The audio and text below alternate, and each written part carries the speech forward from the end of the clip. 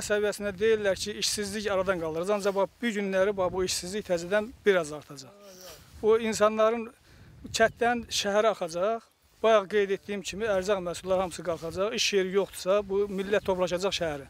Şəhərdə də bu acından ölməlidir ki, oğurluq başlayıb, oğurluq başlanacaq, işsizlik yaranacaq, bu təbii hal. Şamaxıdan olan heyvandarlıqla məşğul 103 fermer Nazirlər Kabinetinin müvafiq qərarına etiraz edirlər. Fermerlər deyirlər ki, onlara məxsus yataqları ləğv edib yerində taxıl əkmək istəyirlər. Buranı taxıl sahəsi etsələr belə heyvandarlıqdan götürdükləri gəliri dövlət taxılçılıqdan əldə edə bilməyəcək deyən şikayətçilər nəticə etibarilə heyvandarlıq sahəsinin çökəcəyini və ölkədə ət təminatının, südçülüyün zəifləyəcəyini bildirirlər. Mən getdiyim bu, bu olub, bu da bir gün tutub əlimdən alırlar. Özdə bunu mən hara aparacam, hayn eləyəcəm, bu da mən bilmirəm. Siz də sahibkarsınız. Bəli, sahibkaram. Özüm də mən şəhid qardaşıyam. Mən öləndə mən bayrağı öpdü, qoyduq ora, dedi vətən uğrunda öldü. Qaçqın gəldi yerləşdi Bakıya. Yaxşı, bizi də bir bizi də bir yerə yerləşdirsə, biz də gedək də. Yaxşı. Biz də başımızı saxlayaq da. Yaxşı biz onda yazaq-fızaq keçək Ermənistana. İkinci o torpaq ana rəhmətli atamın adında olub. Atam atam rəhmətə gedib, atam o torpaq elə qıra-qıra hamımızı gedir. E, kimi e, sonra anamın adına keçib. Quran haqqı. Tez qaç. Ana anamın da anamdan ötürü 10 min vermişəm. 2013-də anam rəhmətə gedib öz adıma keçirmişəm. 10 min də onda vermişəm. Havayı bizə kimdir torpaq verən? Da demir siz siz əkə bilmərsiniz. Siz siz müsəlman deyilsiniz, nə Azərbaycanlı deyilsiniz. Kim əkir əksin? Gəlsin bizə nə halallaşsın da. Halallaşsın rədd olaq çıxaq gedək də bizə hansısa dövlətə köçək çıxaq gedək var da. Bizim tələblərimiz birinci növbədə yəni təyinatı dəyişdirilmiş torpağı özümüz istifadə edək. 15-ci il e, 2015-ci il qanunda da Milli Məclisin qanunu qəbul edilib, kooperasiya haqqında qanun. O qanunda da göstərilir ki, bir neçə nəfər birləşib özü ümumi bir qurum yarada bilər. Həmin qurumda da biz özümüz birləşə bilərik. Kooperativ yəni. Kooperativ hüquqlarımızla birləşib özümüz ümumi banka da girib, kredit götürüb, həmin əməliyyatı biz apara bilərik. Halbuki onlar təsərrüfatda biz özümüz də ixtisaslarımızla, iş prinsipimizlə hamısı təsərrüfata uyğunlaşmış adamlardır. Onlar da istifadə eləsə, gəlib bizim əlimizlə istifadə edəcəklər. Elə bizim özümüzə versinlər də bunu. Təxminən dekabr ayının 7-sində Şamaxı rayon icra hakimiyyəti bildiriş göndərib ki, bu torpaqların təyinatı Azərbaycan Respublikası Nazirlər Kabinetinin 23 sentyabr 2016-cı il tarixli 516 S sayılı sərəncamına əsasən təyinatı dəyişdirilib.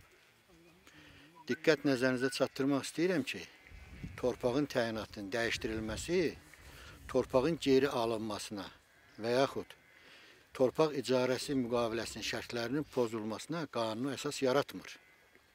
Bu Azərbaycan Respublikasının torpaq qanunvericiliyində də belədir. Təəssüf hissi ilə qeyd etməliyəm ki, Şamaxı rayon icra hakimiyyəti qeyd etdiklərimi nəzərə almır. Sadəcə olaraq tələb eləyir ki, pulu götürün, torpaqdan imtina ərizəsini verin və bu torpaqdan çıxın. Bu kənd təsərrüfatına kənd təsərrüfatı naziri baxmalıdır. Amma deyəsən biz da səhər nazirinə müraciət etməliyik, ya da ki, təhsil nazirinə müraciət etməliyik. Kənd təsərrüfatı naziri bizə deyir ki, biz qəbulunda olduq, bir müəllim də onu e, dedi. Biz qəbulunda olanda Qobustanda icra hakimiyyətindən deyirlər ki, dövlət dövlət alır, dövlət tədbiridir.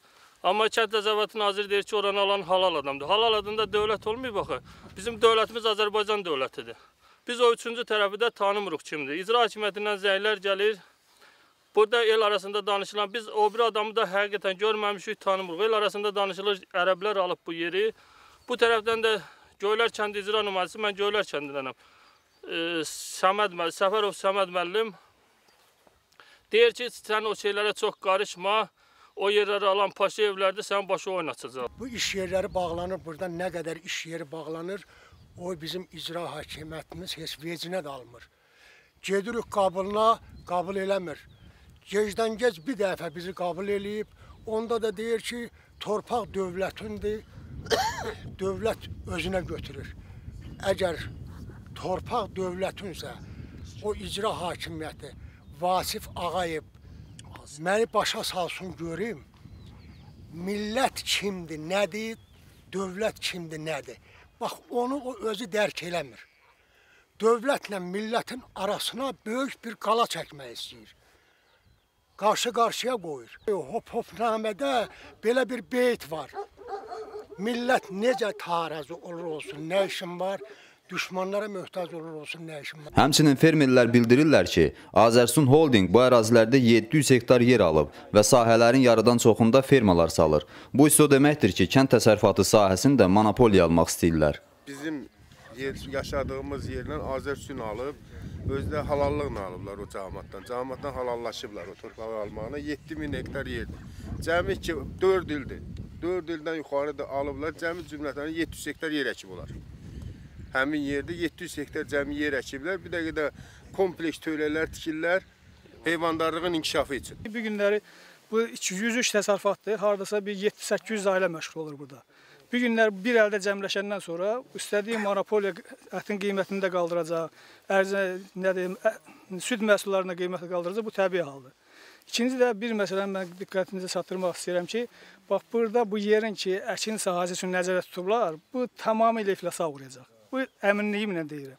Ona görə ki, burada torpağın aqrokimyəvi analizi aparılanda bir ildən artıq burada məhsul verə bilməz bu torpaq. Yəni bir il təbii ki, bir 2 ton da verə bilər, 3 ton da verə bilər. İkinci il bu torpaqda qida yoxdur, yaxı bunun bantet balı var.